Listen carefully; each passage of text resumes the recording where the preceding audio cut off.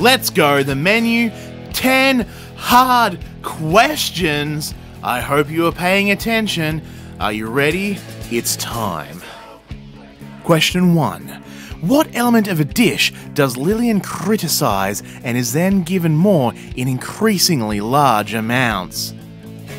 The split emulsion. I hear that's like a really difficult technique in bowling. Question 2. Who is Chef Slowik's angel investor? Quotation marks there. Doug Verrick. Oof. Tough end, mate. Should have been less of a jerk? Unclear. Question three. How many times have the Liebrandts previously eaten at Hawthorn? Why, of course, 11 times. So tonight makes 12, one for each guest. Hmm. Question four. Felicity has gotten a job with which company? There's only like two companies, right? So it has to be one of them. That would be Sony, who didn't make this movie. Question 5.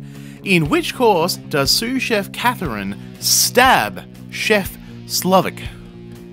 Why, of course, that would be the fifth course Man's Folly. And you know what? I think that man had a lot of folly to go around. Question 6. How long is the beef on Hawthorn aged?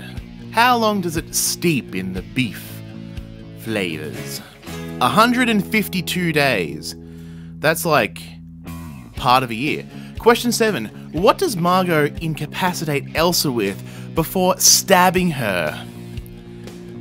Do you want to build a snowman? No. Boom! Parko jetted. You've been Parko jetted. You've been Parko jet and this is not working. Question 8. Who Whom has happy birthday sung to them? You guys told them it was my birthday? Oh, oh it was a lot funnier four hours ago. Uh, Bryce. Not Bryce Remsburg, he's busy. Question 9. What movie did George Diaz star in that Chef Slowik saw on his one day off? Shh. Calling Dr. Sunshine. I don't know, I've never seen Calling Dr. Sunshine. I don't know if they do that in the movie. Question 10. Which diners skip the tour? Yes, the eagle eyed amongst you will notice not everyone was on the tour.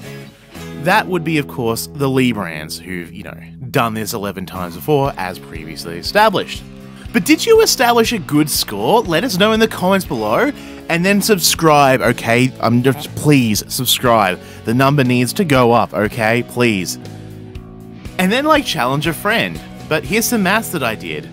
This whole movie, it's so good, but hmm, and the economics of it.